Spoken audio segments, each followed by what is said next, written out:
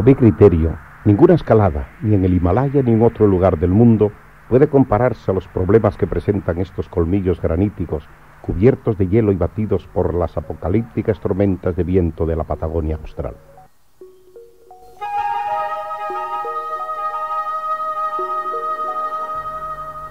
Solos en la inmensidad de este glaciar y en el silencio blanco, extrañas voces que parecen articuladas en el infinito. Tal vez solo ecos, algún fenómeno atmosférico desconocido, o quizás sean esos sueños que nunca pudieron cumplirse y vagan entre estos gigantes de granito, condenados a recordarnos que posiblemente nosotros mismos solo seamos un sueño.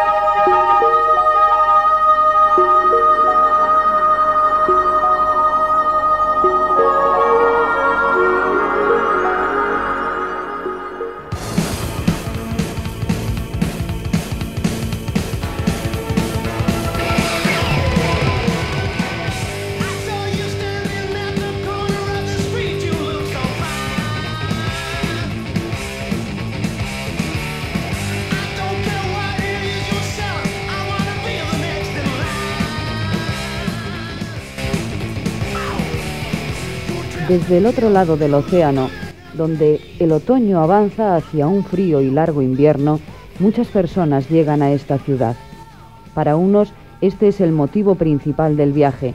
Para otros, la gran metrópoli no es sino otra etapa hacia el sur, donde atraídos por el magnetismo de las montañas patagónicas vivirán plenamente la primavera austral.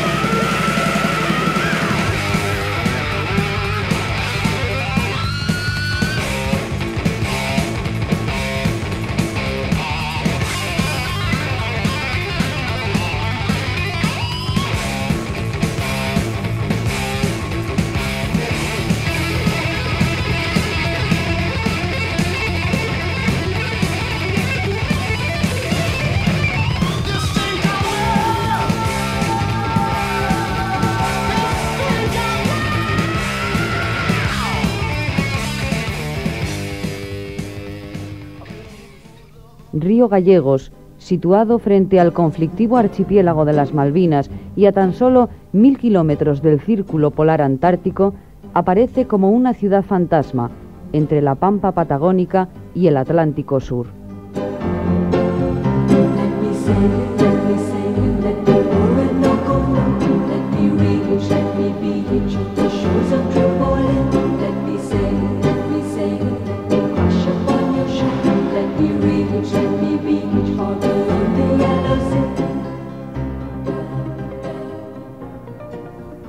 En este lugar hay que ultimar todos los preparativos y huir.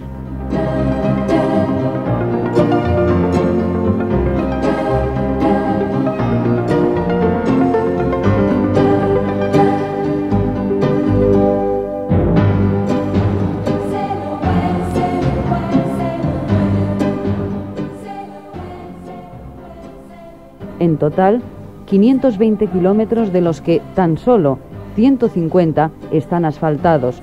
Separan Río Gallegos del Chalten, último enclave habitado donde es posible llegar en automóvil.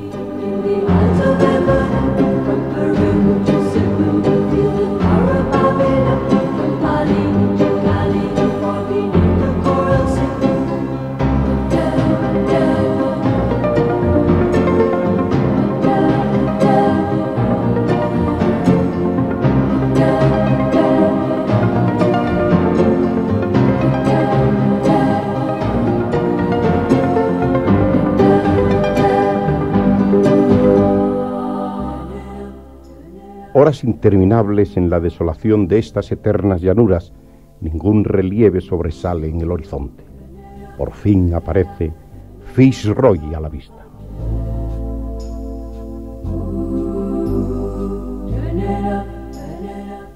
Manadas de corderos comparten este hábitat con una especie de avestruz, el ñandú.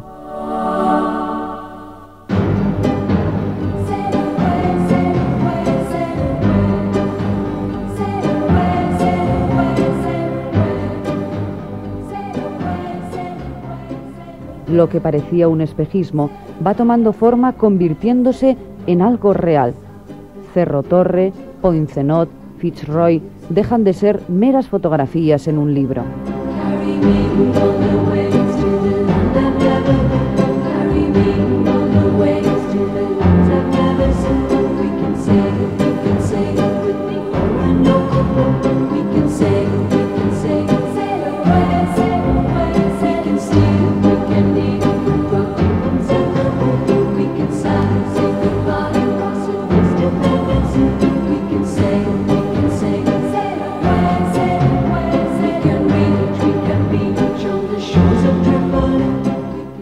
Habíamos oído hablar del dios viento, morador de estos paisajes, y sabíamos que sólo los abandonaba en contadas ocasiones.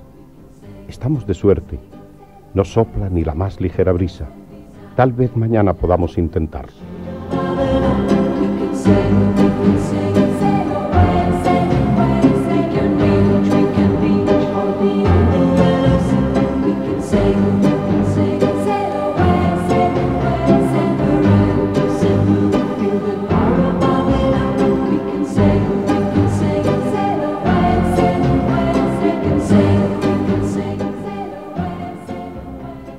Madrugada iniciamos una loca carrera aprovechando lo que parecía buen tiempo.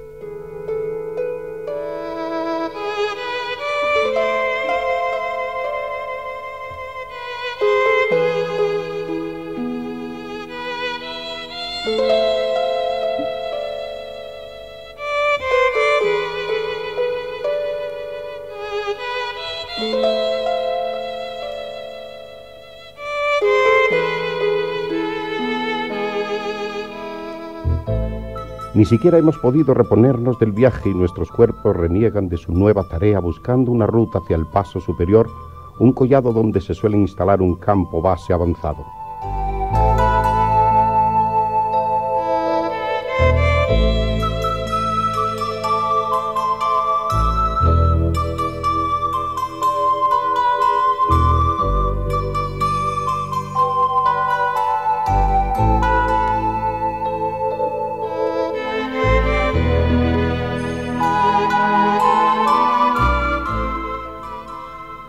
Ascender lo más rápidamente posible, reducimos al máximo nuestro equipo, comida para un par de días, material de escalada y el mínimo para el vivac.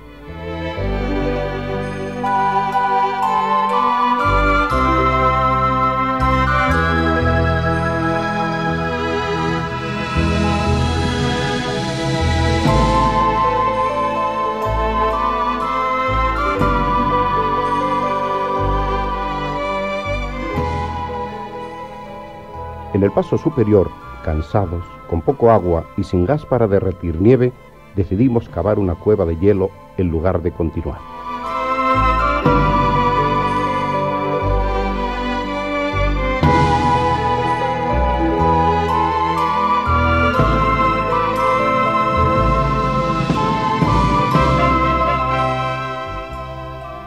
aprovechamos una pequeña grieta y ensanchamos sus paredes lo justo para intentar dormir.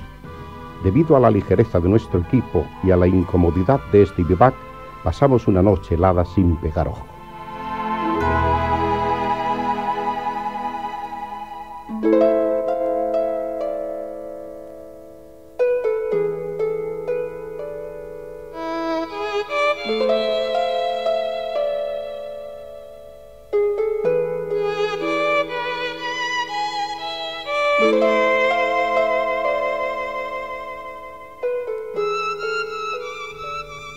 Fin amanece. El mal estado de las paredes por la gran cantidad de nieve reciente hace que optemos por intentar la aguja Poincenot por la ruta Williams.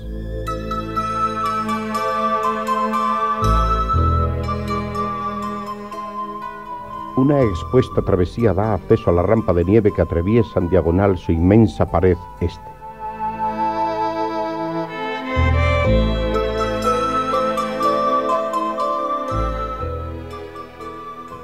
Es difícil asegurarse sobre este tobogán. Un resbalón significaría quedar suspendido sobre un impresionante vacío de 700 metros.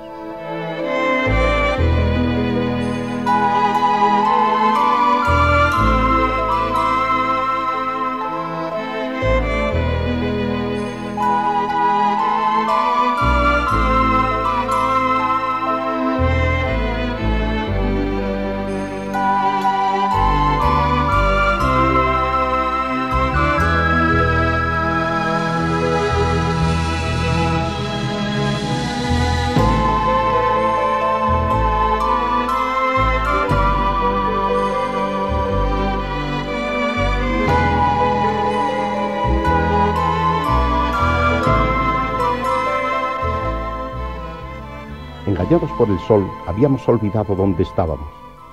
En unos minutos nos envuelve la niebla y todo cambia por momentos. En este lugar, a mitad de camino entre el cielo y la tierra, la elección es clara.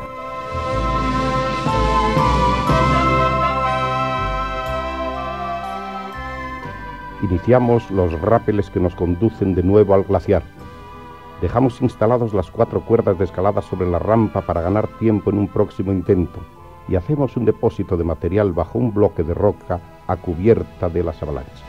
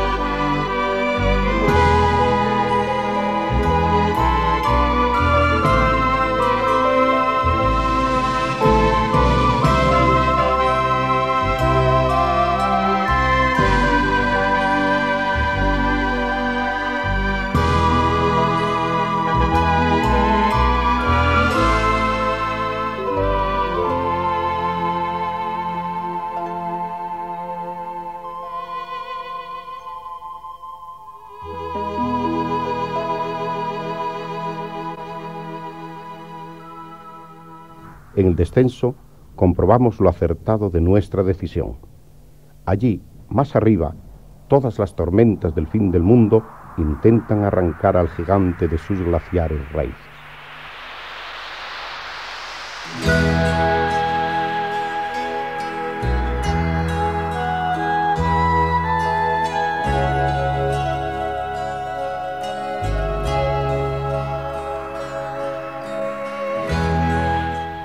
En la antigüedad, el cerro Fitzroy recibía el nombre de El Chalten, que en lenguaje de los pobladores autóctonos de estas tierras, los indios patagones, significa volcán, nombre que sin duda se le dio por la nube que normalmente sale de su cima debido a los vientos fríos que llegan del hielo continental.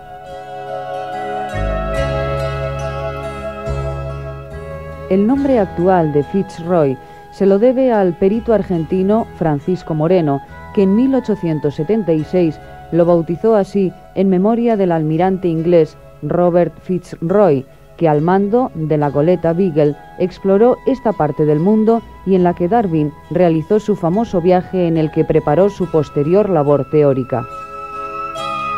El Fitzroy fue escalado por primera vez en 1952 por una expedición francesa dirigida por Lionel Terray, en el transcurso de la cual murió ahogado en el río de las Vueltas en la marcha de aproximación Jacques Poincenot, que dará nombre a la esbelta aguja vecina del Fitzroy.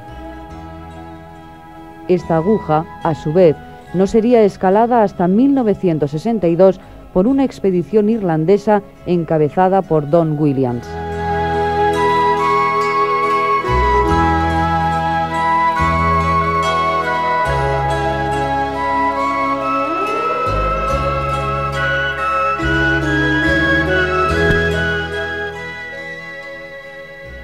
En Patagonia, las cosas deben tomarse con más calma. Debido a los cortos periodos de buen tiempo, conviene estar situado lo más cerca posible de las montañas.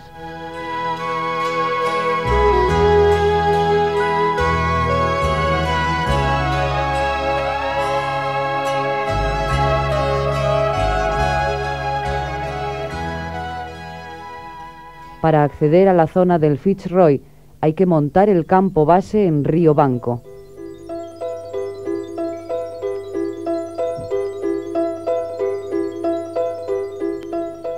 La aproximación transcurre a través de un bosque milenario lleno de encantos que no se puede disfrutar realizando los pesados porteos.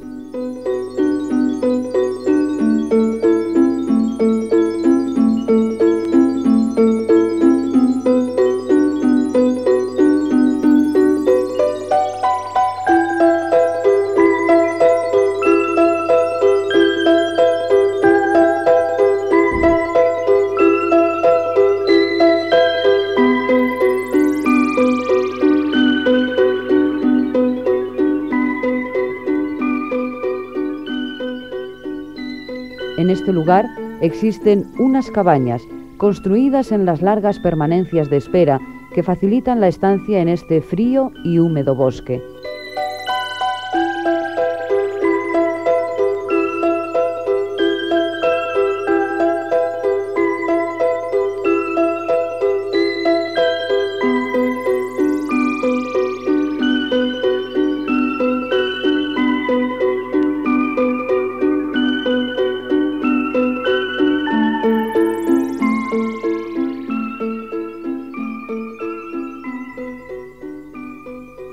Transporte de las cargas, los caballos de Don Guerra juegan un importante papel. Este gaucho es uno de los exponentes de aquellos grandes jinetes que en el pasado poblaban la pampa, dedicados a la ganadería o a la vida errante, y que hoy prácticamente han desaparecido.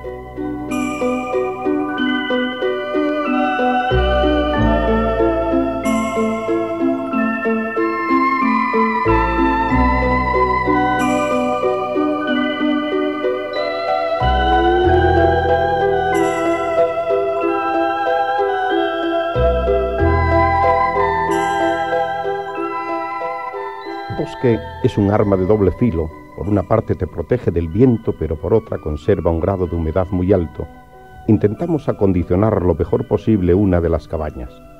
Un amasijo de troncos y plásticos que con el tiempo llegaremos a considerar como nuestra casa.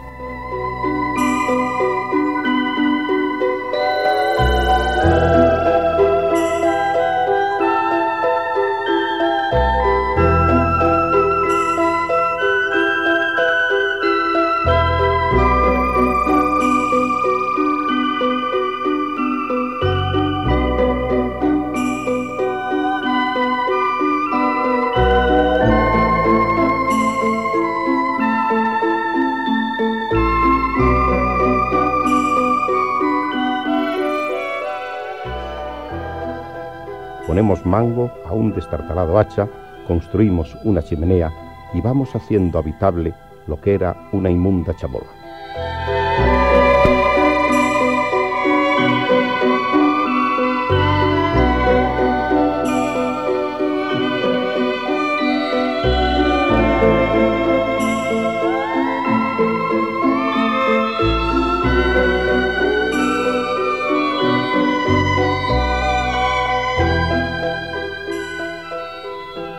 Algunas veces llegamos a pensar que si nos visitara un antropólogo, creería haber encontrado el eslabón perdido en la cadena evolutiva entre el hombre de la caverna y el de la computadora.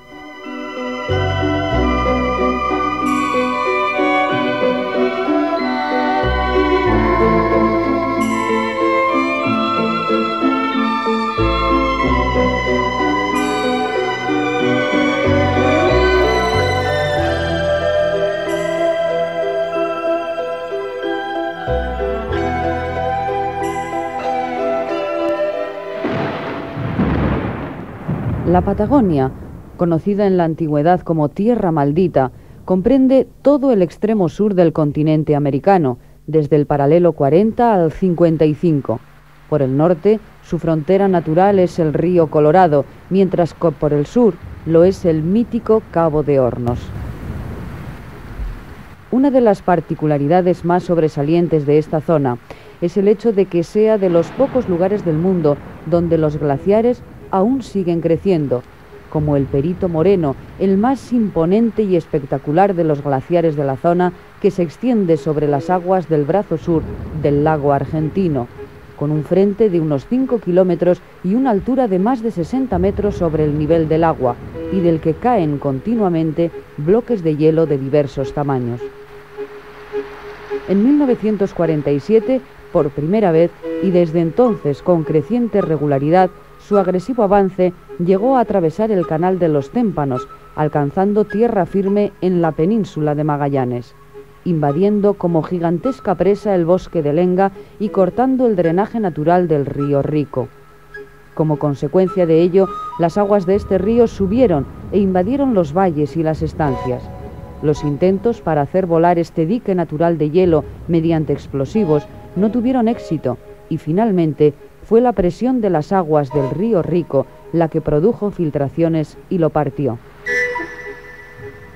El fenómeno suele producirse ahora cada tres años aproximadamente, subiendo el nivel de las aguas hasta 36 metros sobre el resto del lago. La fractura, socavado y posterior ruptura del glaciar resulta un espectáculo inolvidable.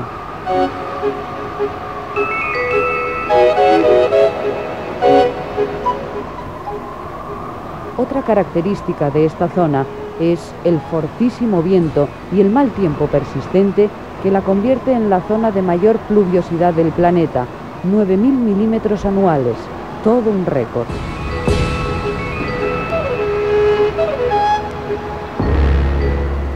Este casi continuo mal tiempo se debe a un fenómeno originado por los fortísimos vientos húmedos y fríos de componente oeste que soplan casi constantemente del Pacífico Sur hacia los más de mil kilómetros de costa patagónica.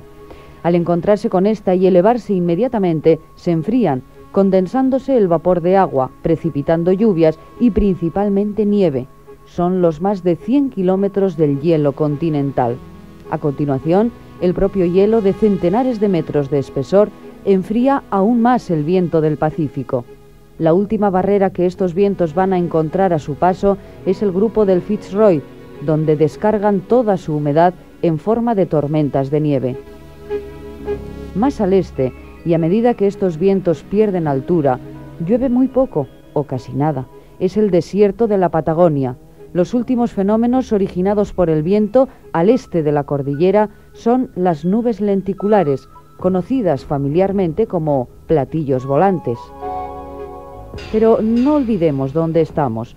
En Patagonia, la meteorología es una ciencia, no inexacta, sino súper inexacta, casi aleatoria, lo que es más o menos decir que similares posibilidades de acertar tendrán el meteorólogo, el adivino o una moneda tirada al aire.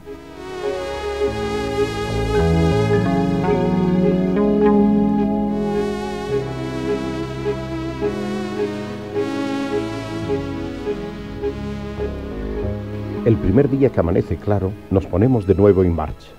Al ir subiendo nos damos cuenta de que hay más nieve que hace unos días, lo que hace más penoso nuestro avance a lo largo del glaciar.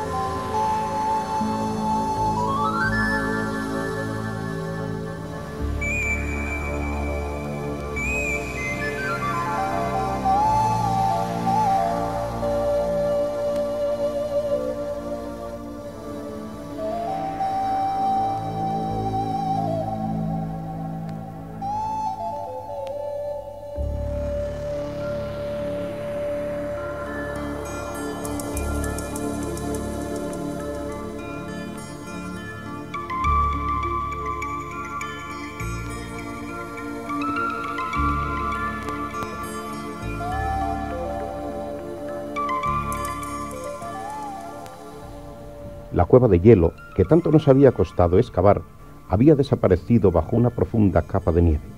A dos metros de la superficie encontramos la antigua grieta y la ampliamos para estar algo más cómodo. Cava, cava. Es duro esto de la mina, ¿eh? Venga, vamos con la del minero. No tengo miedo a la muerte, porque minero nací. Y aunque me ronde peligro, no tengo miedo a morir. No tengo apego al dinero, porque de orgullo me llena. Ser el mejor marinero de toda Tierra Morena, de toda Tierra Morena.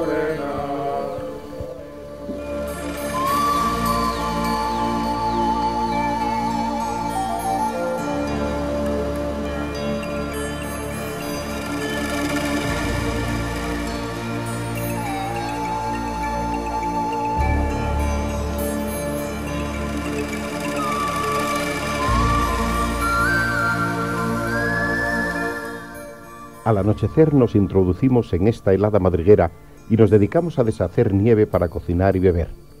El altímetro indica un empeoramiento del tiempo, aunque albergamos la esperanza de que mañana continúe estable. Oye, aquí ya tenemos bastante agua, ¿eh? ¿Qué voy haciendo? ¿Sopa o puré? Puré, puré. Tío, mira a ver el barómetro.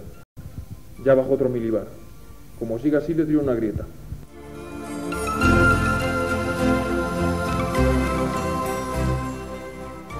Pero no es así. Aunque hay viento, nieva copiosamente y una espesa niebla imposibilita orientarse en el glaciar. Tres horas después, estamos de regreso en la cueva. Totalmente abatidos, nos damos cuenta de nuestra impotencia ante estas adversas condiciones.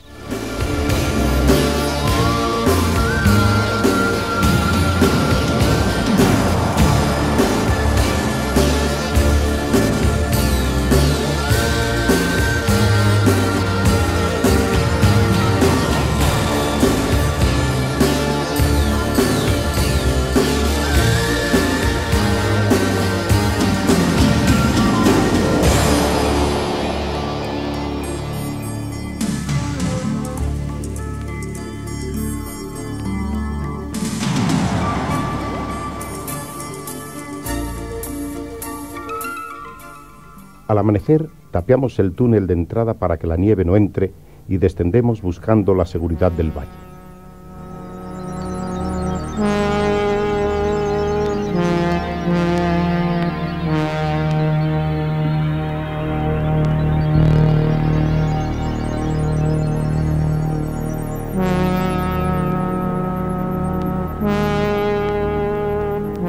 Todo es diferente en este bosque.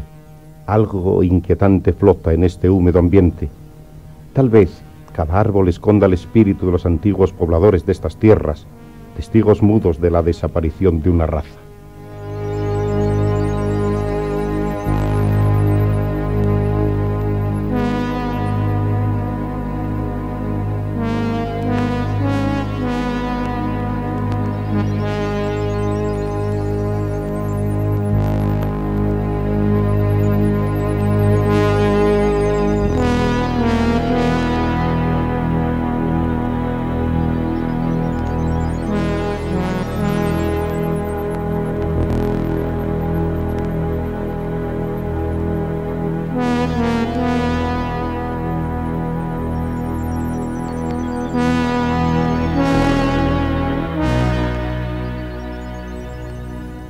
Días ni siquiera podemos salir de la cabaña. Incluso las pequeñas criaturas buscan cobijo a nuestro lado. Es ahora cuando nos damos cuenta de que ya formamos parte del bosque.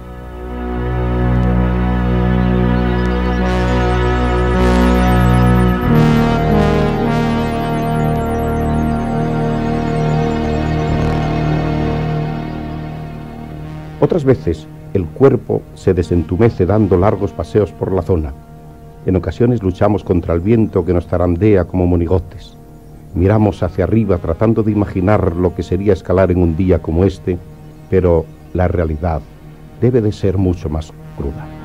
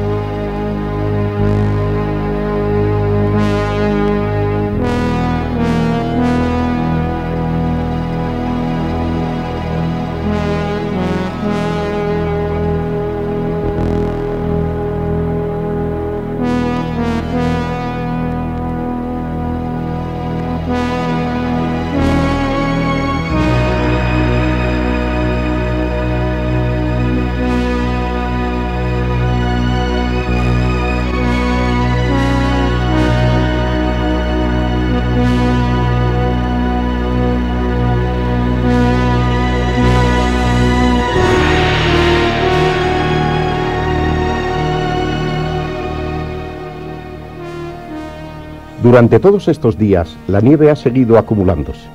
Llegar al paso superior se está convirtiendo en una dura prueba de resistencia.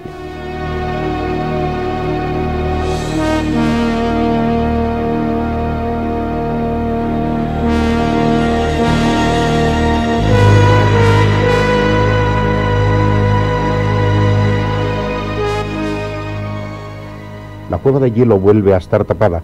De una forma inesperada, casi instantánea, pasamos de un tiempo apacible a una brutal tormenta de viento y nieve. Encontrar rápidamente la entrada de la cueva se convierte en una cuestión vital.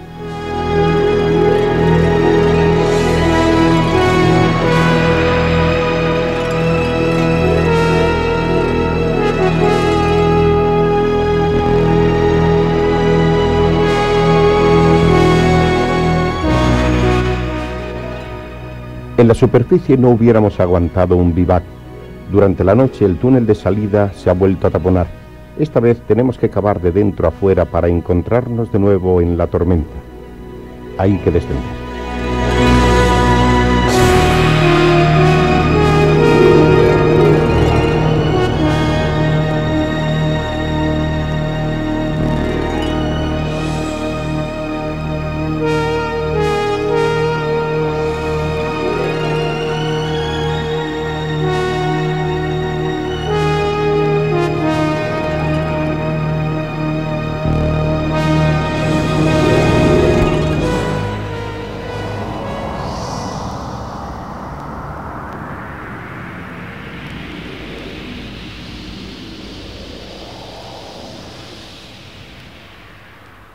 La persistencia del mal tiempo, dos guías suizos se vuelven a su país, aprovechamos la coyuntura para mudarnos a la cabaña que dejan libre y sin lugar a dudas, ganamos en el cambio.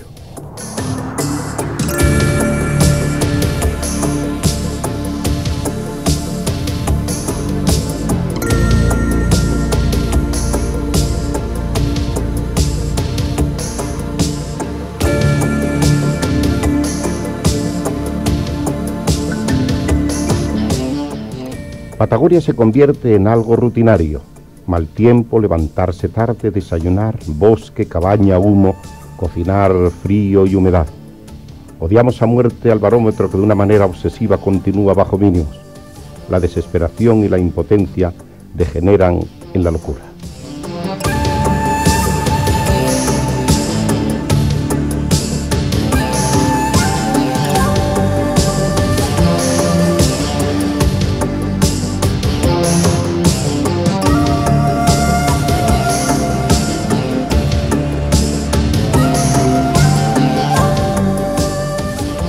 A veces deseas salir corriendo, alejarte de este lugar. No sabes qué es lo que realmente te retiene. El deseo de llegar a la cumbre o el miedo al fracaso. Nunca pensaste en el significado real de esa palabra, pero ahora que su sombra merodea a tu alrededor te sientes vulnerable.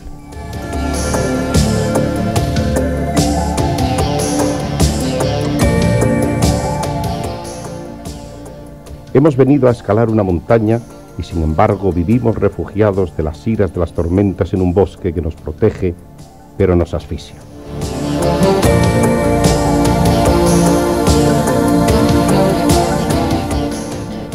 Cuando la comida se acaba, para evitar un viaje de 200 kilómetros hasta Calafate, hay que hacer un pedido en la hostería.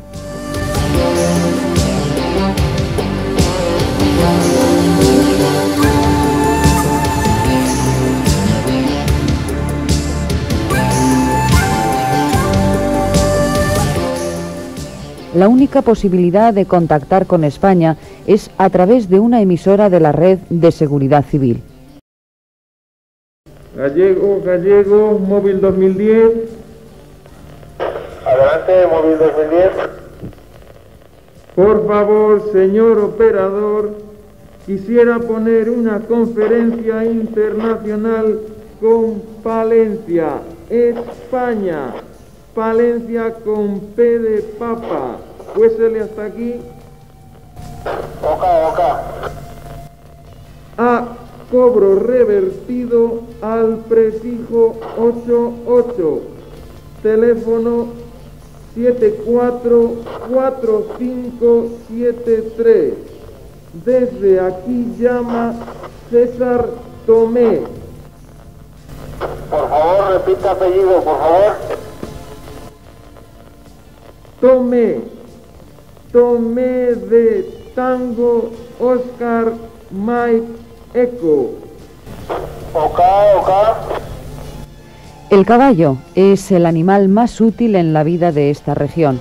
No solo se usa como montura y animal de carga, sino que también se le sacrifica para el consumo habitual.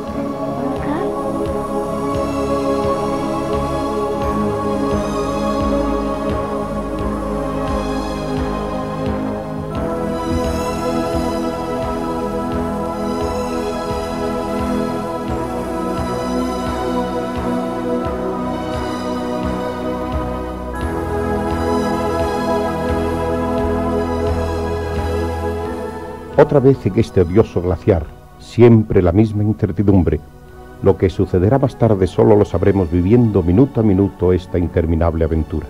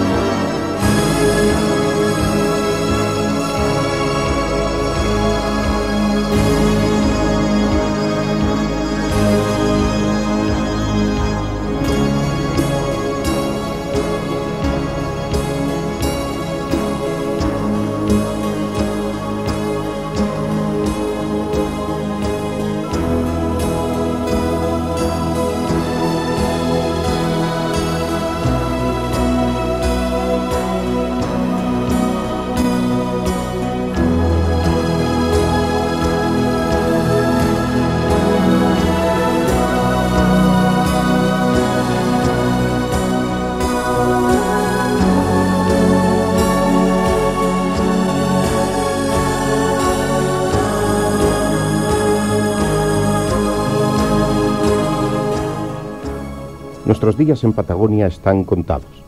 Estamos aquí para intentarlo, pero aunque no lo consigamos, tenemos la certeza de que lo hemos dado todo.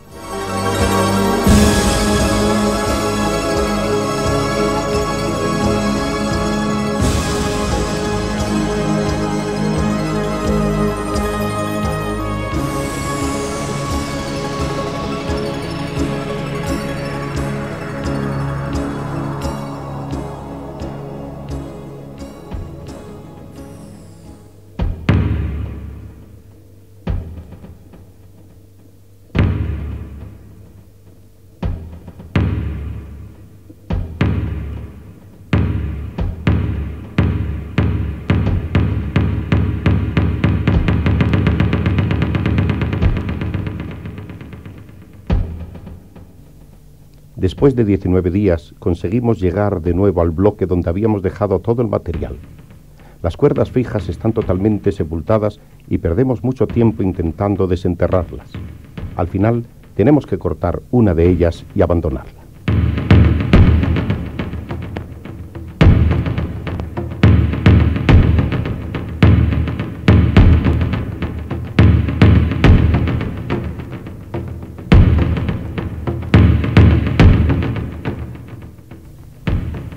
Tras todos estos días de inactividad, de nuevo comienza la danza sobre esta pista vertiginosa.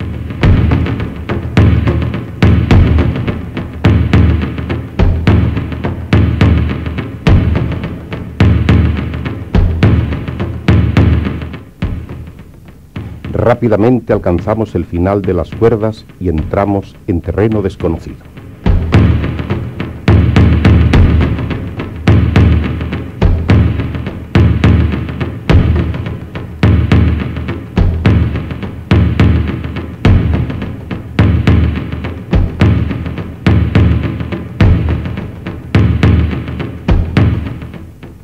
La rampa da acceso a una zona mixta de hielo y roca. Cuando nos acercamos a el hombro, comenzamos a escuchar un sonido familiar. El viento brama por encima de nuestras cabezas y el tiempo empeora rápidamente. A pesar de todo, continuamos escalando, pero comenzamos a sopesar las posibilidades.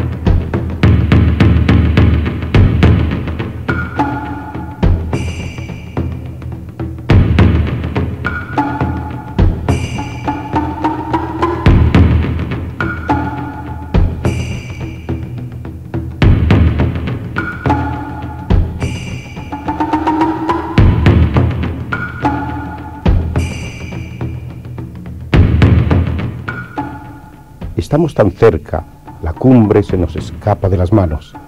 Aunque la decisión resulta dura, debemos descender.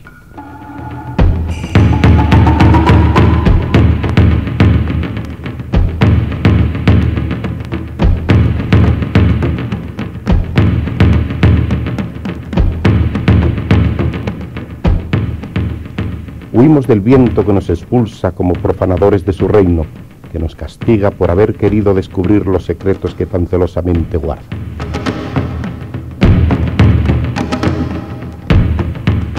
Entre la niebla todo se torna confuso.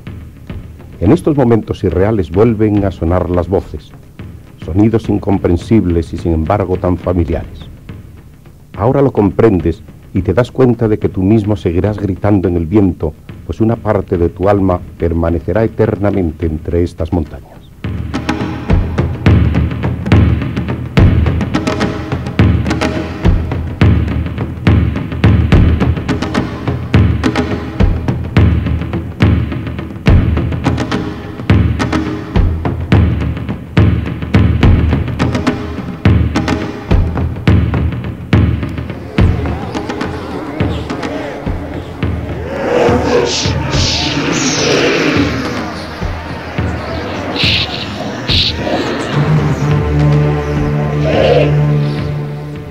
Siquiera hay lugar para los lamentos.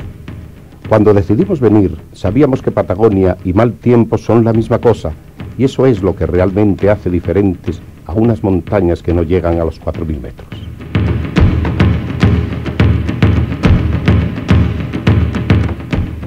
Seguramente mañana regresaremos al bosque y todo habrá acabado.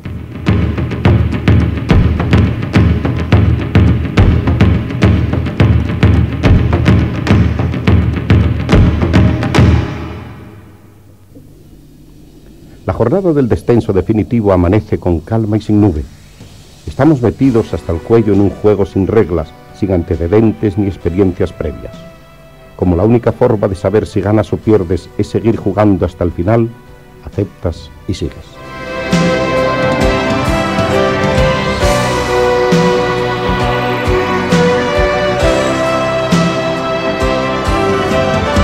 Hoy solo se puede esperar a que el día siguiente continúe en buen tiempo. Lo único que podemos perder es algún kilo de peso, pues ya no nos queda comida.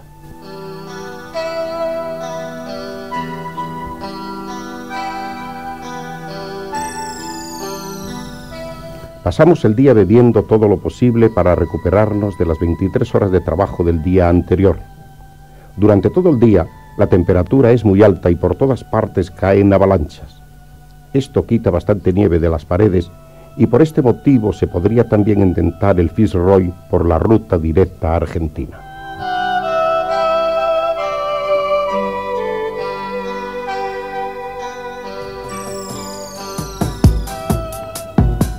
Dormimos fuera de la cueva, pues está despejado.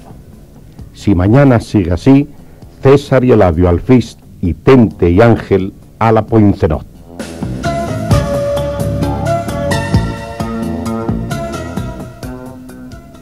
Nunca sabrás el verdadero motivo que te impulsa a regresar, pero eso no importa, volverás a hacerlo en otra ocasión, en otra montaña, en otro sueño. Todo parecía acabado y ahora de nuevo vuelves a intentarlo.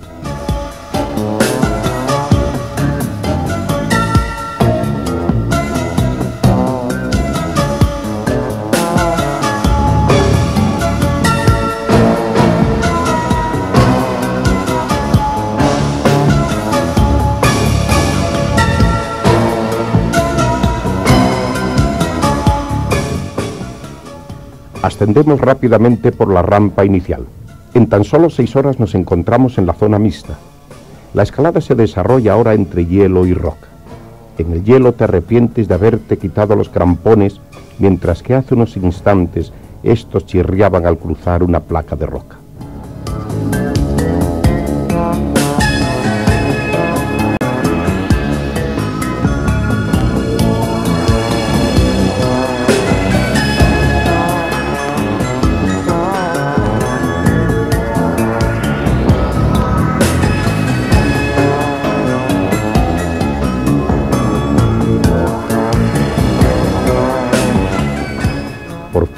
Nos asomamos al otro lado. Después de un mes avistamos el Cerro Torre que se recorta sobre un cielo completamente azul.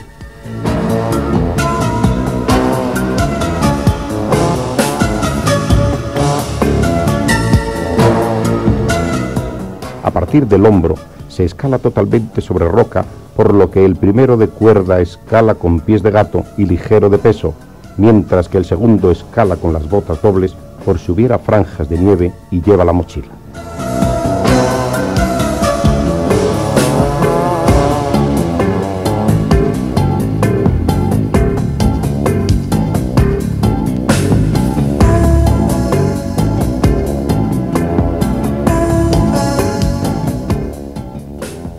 Se suceden los largos entre bloques y fisuras, rodeados por un ambiente fantástico. A pesar de todo, la sombra de un posible cambio de tiempo te hace escalar a toda prisa.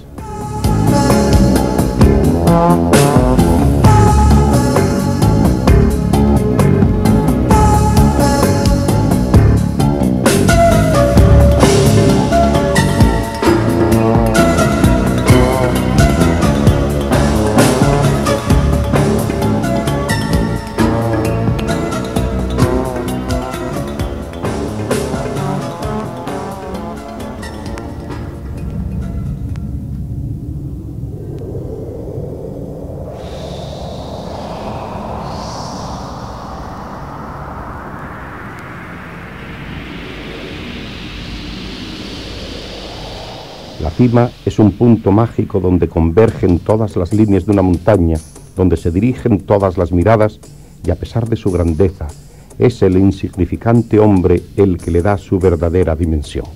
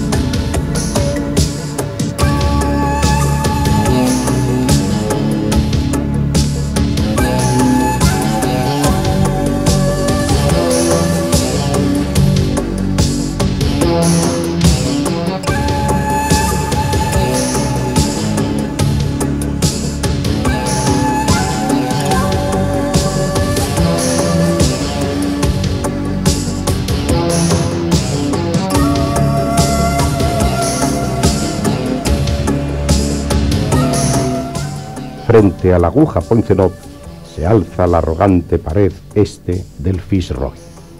La escalada comienza en unos canales de hielo y nieve separadas por franjas rocosas que producen súbitas caídas de piedra. Unas rampas dan acceso a la brecha de los italianos.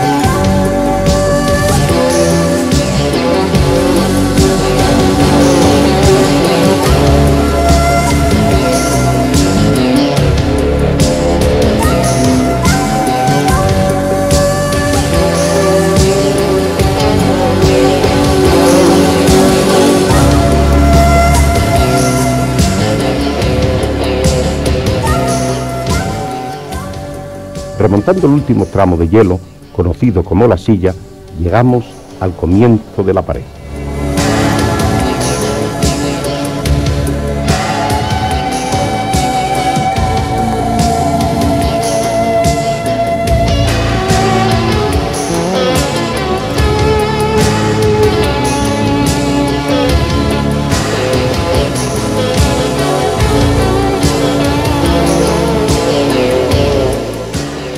Colgados de una vieja cuerda, como marionetas de un teatro infantil, nos colocamos todo el material. Vamos súper ligeros, un martillo piolet y un solo par de crampones y de botas de plástico para los dos.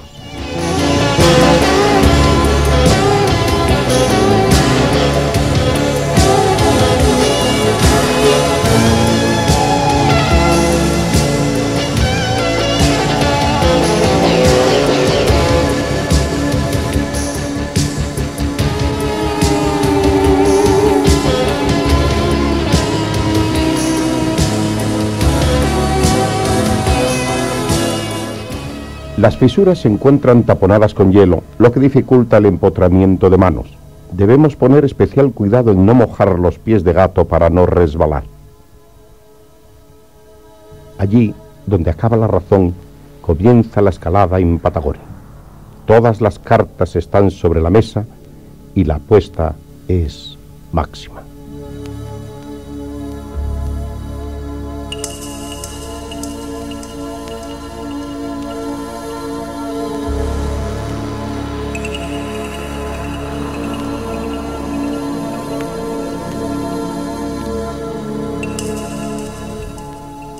César y Eladio tendrán que vivaquear en la pared, mientras Ángel y Tente inician el descenso desde la cumbre de la Poincenot.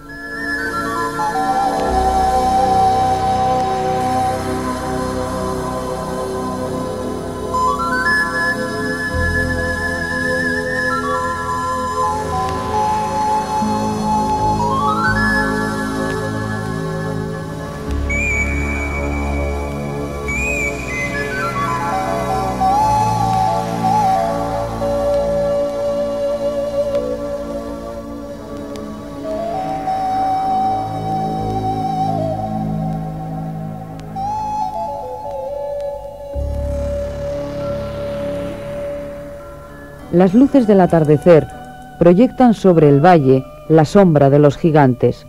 Para unos significa el retorno y para otros una larga espera hasta el amanecer.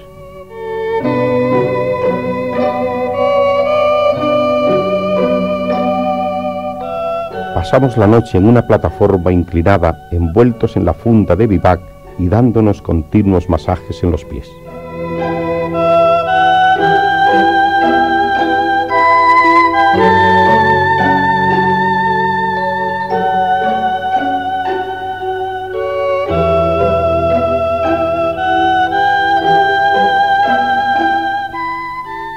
Viniendo de la directa Argentina el terreno se hace más fácil, pero hay hielo. El primero se coloca las botas y los crampones, el segundo salta de piedra en piedra tratando de no resbalar sobre el hielo con los pies de gato.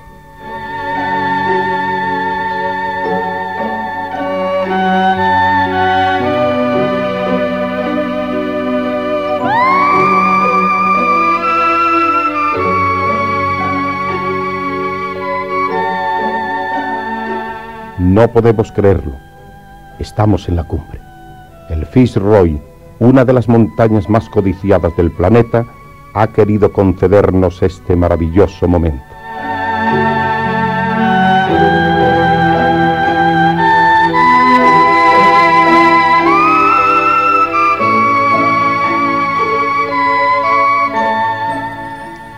Todas las experiencias vividas para llegar hasta aquí se aglutinan en este instante y se produce una sensación inexplicable. El cansancio, el abatimiento, la ansiedad, incluso el miedo, dan paso a una profunda alegría que se refleja en una sencilla sonrisa.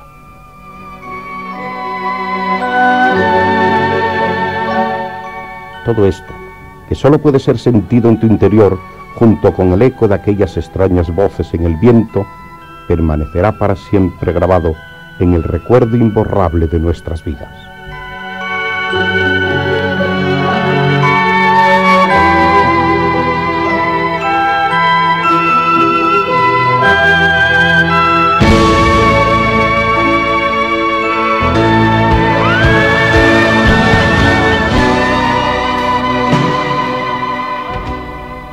Cuando en la tranquilidad y el calor de mi hogar dejo vagabundear mi espíritu en el recuerdo de tantas imágenes y aventuras, los picos de la Patagonia se me aparecen tan irreales, tan fabulosamente esbeltos, que me parece que estas imágenes hayan salido de un loco sueño.